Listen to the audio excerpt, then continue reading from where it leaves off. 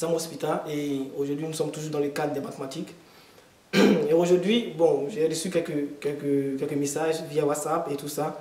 Donc, euh, euh, je vais essayer de, de, me, de, me, positionner sur deux cas, c'est-à-dire la décomposition en éléments simples euh, et les exercices de probabilité conditionnelle. Voilà. Donc, je dois, par exemple, vous montrer comment est-ce que vous devez résoudre les probabilités conditionnelles avec plusieurs techniques.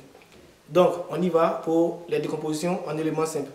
Donc, décomposition en éléments simples, ça sert à quoi? Ça sert à, calculer les intégrales parce qu'il peut y avoir des intégrales sous forme de, de fonctions rationnelles. Et si vous avez des intégrales sous, forme de fonctions rationnelles, vous devez, par exemple, comme ça, faire une décomposition en éléments simples pour avoir plusieurs partitions de quoi? D'intégrales. Voilà. Donc, je vais essayer de donner quelques exemples. Comme ça, vous allez vous en sortir un peu rapidement. Donc, suivez très bien. Alors, la décomposition en éléments simples, je vais prendre par exemple comme ça, f de x, f de x qui est égal à quoi? Qui est égal à 1 sur x facteur de quoi? De x moins 1. voilà. Donc, f de x est égal à quoi? Égal à 1 sur x facteur de x moins 1.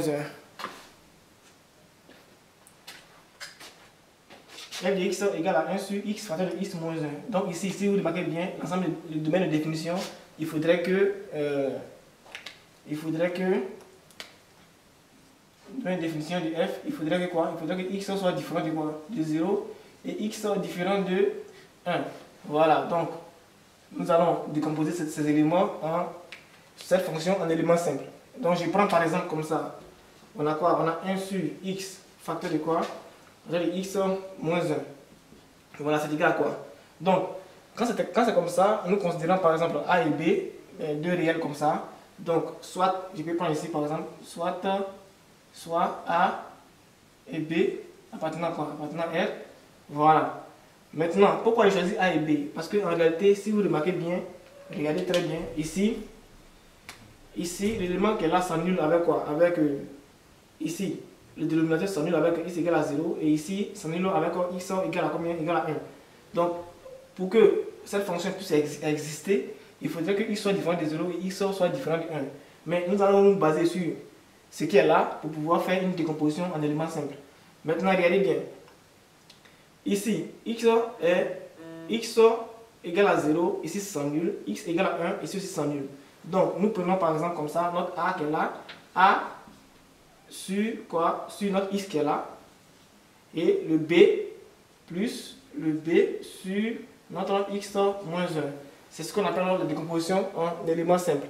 Voilà. Donc, ça, nous allons déterminer maintenant A et B. Donc, pour déterminer A et B, c'est très simple. Voilà, c'est très simple. Il y, a, il y, a, deux façons, deux manières, je crois. Soit vous faites par, par identification, c'est-à-dire vous faites ça fois ça et ça fois ça, et vous trouvez rapidement, ou vous faites d'une autre manière. Donc, je fais rapidement par identification, et aussi je fais d'une autre manière. Donc, pour faire par identification, comment ça se passe? Ici, par exemple, si vous remarquez bien, on fait, on, on, rend même dénominateur, ça dit ça fois ça. Ça fait x, ça fois ça. x, facteur de quoi? X moins 1. Alors, on fait aussi ça fois ça. a, facteur de quoi? De x moins 1. Et ça fois ça, plus bx. Ça donne quoi? Ça nous donne par exemple ici, euh, si développe, ça fait ax moins a plus dx sur quoi? Sur x facteur de x moins 1.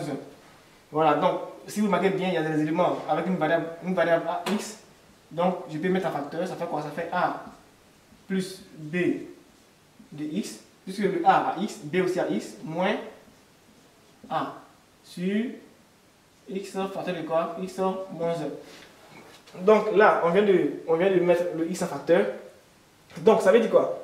Si si deux éléments, par exemple, euh, deux, je vais dire quoi, si par exemple deux fractions ont le même dénominateur, pour que ça soit, pour qu'il y ait une égalité, il faudrait que le, numérateur aussi soit euh, de la même valeur.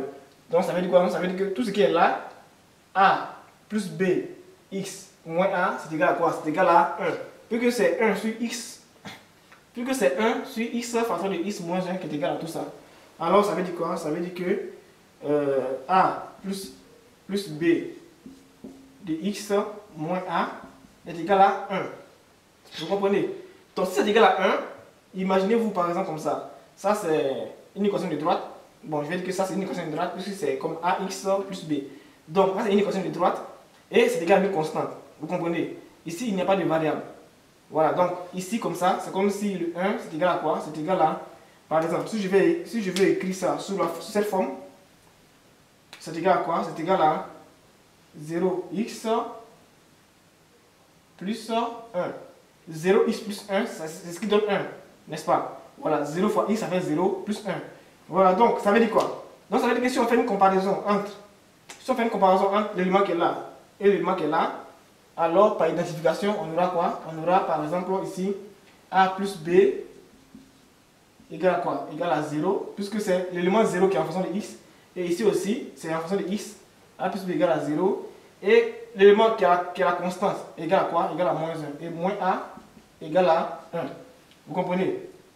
Donc là, directement, ça me donne quoi? Ça me donne par exemple ici, euh, ici moins a. Donc là, ça me donne quoi? Ça me donne, ça me donne a qui est égal à quoi? Moins 1, ici.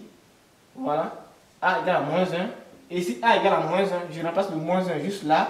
Ça me donne quoi? Ça me donne b égale à combien? Égale à 1. Puisque moins 1 plus 1 donne 0. Alors ici, b égale à 1. Maintenant que j'ai trouvé A égale à moins 1 et B égale à 1, je peux remplacer l'élément qui est là et là par les valeurs que je viens de trouver.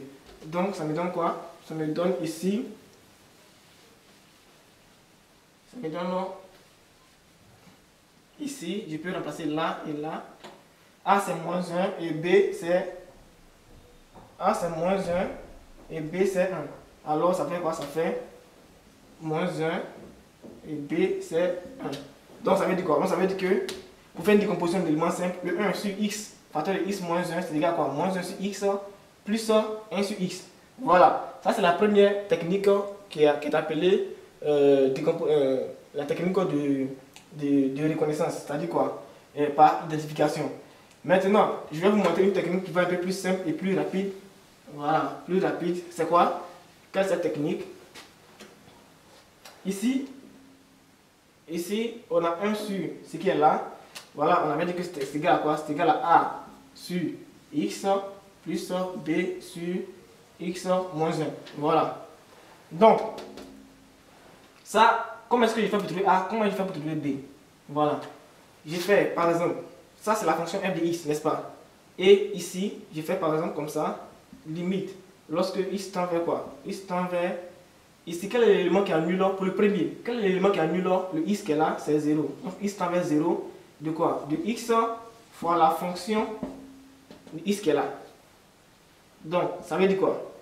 Ça veut dire que si je multiplie par exemple le x qui est là par la fonction qui est là, je pourrais simplifier les deux x. Ça veut dire quoi? Bon, je vais écrire ça un facilement.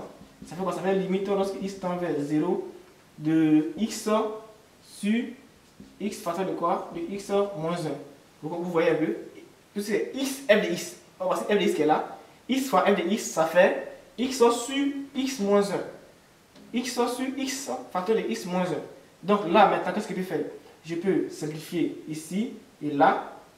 Voilà, ça me donne quoi? Ça me donne 1 ici, sur 1 moins, sur x moins 1.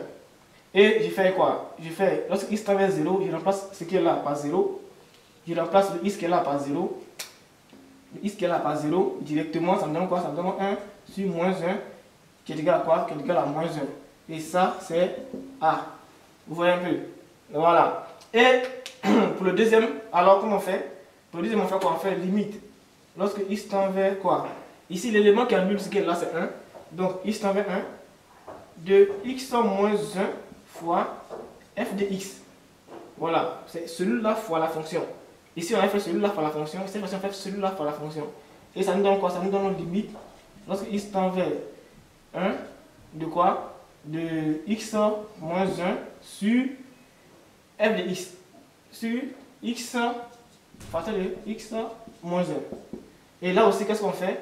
Là aussi, on simplifie là. Et là, ça nous reste 1 sur x. Et lorsque x tend vers 1, c'est 1 sur 1 qui est égal à 1. Qui est égal à quoi? Qui est égal à b. Donc vous voyez, donc B égale à 1 et A aussi égale à moins 1. Donc directement ici, A c'est moins 1 et puis B c'est 1. Et voilà. Ça, c'est ce qu'on appelle la décomposition en éléments simples. Maintenant, il y a une deuxième décomposition d'éléments simples qui fait intervenir les complexes, mais en cas de terminal, vous n'allez pas mettre les complexes, vous allez faire ça d'une autre manière. Qu'est-ce que ça veut dire? Ici, par exemple, je prends ici, je prends un deuxième exemple, qui est quoi Qui est, je fais juste un petit changement ici. C'est facile, au lieu de mettre ici, je mets plus, et ici, je mets au carré. Voilà. Et puis ici, je mets au carré. Donc, ça, ça, ça nous donne quoi?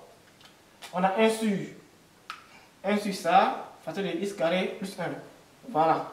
Donc ici, si vous remarquez bien, ici ça donne un, un, un réel qui est quoi? Qui est 0. Pour que celui-là s'annule, ça fait x. Donc il fait une décomposition, je fais x plus, et puis ici il met quoi? Il met x carré plus 1. Voilà. C'est ça et ça. Donc ici, pour que ça s'annule, c'est quoi? C'est x égale à 0. Alors ici, il n'y a pas de problème. Il peut mettre a là. Mais ici, x carré plus 1 égale à 0. Ça veut dire quoi? Ça veut dire que le x doit être égal à quoi? Égal à le x carré égale à moins 1. Ça, dans, parmi les réels, ça c'est impossible, c'est pas possible. Donc, euh, nous allons passer en termes de complexe. En termes de complexe, le moins 1 est égal à quoi? Est égal à i carré. Vous voyez, le moins 1 est égal à i carré. Donc, si, une fois que ça devient des éléments complexes, directement, on ne peut plus mettre b de façon, de façon réelle, non? Mais on met quoi? On met b x plus c. Voilà. Et c'est ça que vous devez, c'est par rapport à cela que vous devez faire la, votre décomposition. Une fois que ça atteint un nombre complexe, ça devient bx plus c. Et si ça devient bx plus c, comment est-ce qu'on fait? On ne change pas de manière. Pour le premier, on peut faire comme euh, la première limite, c'est-à-dire quoi? C'est-à-dire, j'ai fait, je fais pour le a, a c'est égal à quoi? C'est égal à la limite lorsque il tend vers, toujours, tend vers 0, puisque c'est 0 qui annule ici, il tend vers 0 de quoi? De x, f de x. Voilà, de x, f de x. Ça, ça donne quoi? Si je mets x là, ça fait limite lorsque x tend vers 0 de x sur x facteur de x carré plus 1, comme ça.